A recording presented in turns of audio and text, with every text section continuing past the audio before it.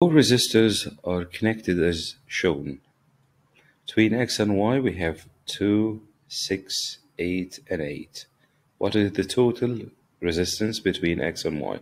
Okay, step 1, you have to simplify the diagram. The 8 and 8, they connected in parallel. Okay, so uh, in parallel connection, so the total of these two resistors they are in parallel 8 times 8 divided by 8 plus 8 so 64 divided by 16 it gives us 4 ohm. So the value of the equivalent resistance for both 8 and 8 is 4 ohm.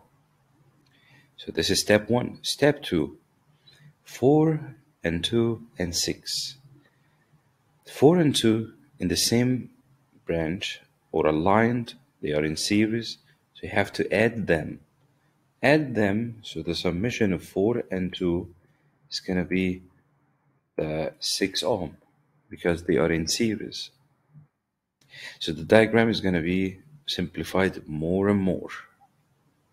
6 and 6 now they are in parallel. So in parallel, it means I'm going to use the same formula I used before for the 8 and 8. So 6 times 6 divided by 6 plus 6. So the total is 36 divided by 12, which is 3 ohm. The correct answer is A.